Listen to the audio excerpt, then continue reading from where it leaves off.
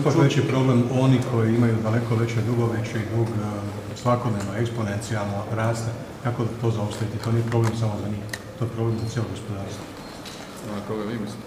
Mislim na one ostale koji imaju veće dugove, blokirani su, su zbog daleko većih dugova, a njihov dug svakodnevno jako raste. Što e, napraviti?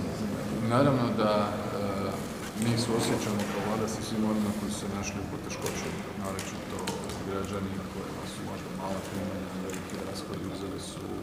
kredite sa visokim kamatama, ne nalaze načina kako da ih servisiraju. Idemo korak po korak, ovo što radimo sada i planiramo je dio rješavanja toga. Ne bi bilo bolje, ne bi bilo bolje rješenje da je ovima kojima sad opraštate dugove, da zapravo im se omogući da im se odblokiraju računi pa da mogu vraćati to što su dužni.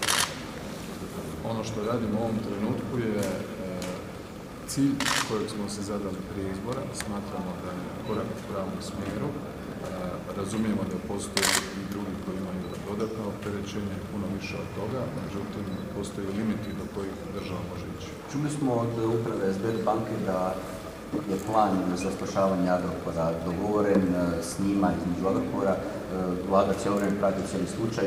Ne znamo kakav je plan. Što će taj plan značiti za ono o čemu vi govorite od početka e, sigurnost, stabilnost hrvatskog gospodarstva, za malu prodaju i na kraju za naše dobavljače i što se tiče vraćanja dugova i što se tiče plasmana proizvoda u budućnosti.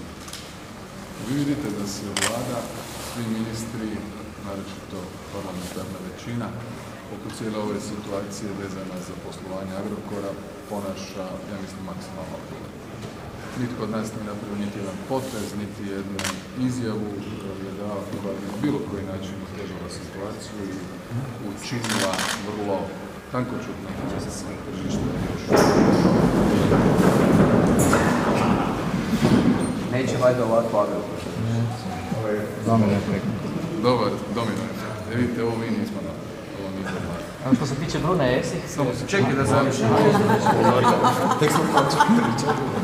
Dakle, ono što je nama važno je dakle, da poslovanje Agrokora prije svega osigura određenu drugo je da se napravi kvalitetan plan restrukturiranja, a onda nakon toga i održivo poslovanje CERNA koji sve skupa zapošljava ne samo u Hrvatskoj, nego i u susjednim zemljama 60 tisuća ljudi. Vidjeli ste da je potpredsjednica vlade i ministrica Dalić imala razgovor sa nizom dobavljača, razgovarala i sa vjerovnicima. Dio smo toga procesa, sve što radimo radimo odgovorno, zakonito i vodeći računa o činjenici, riječ o kompaniji koja je praktički gotovo u 100% privatnom vlasništvu.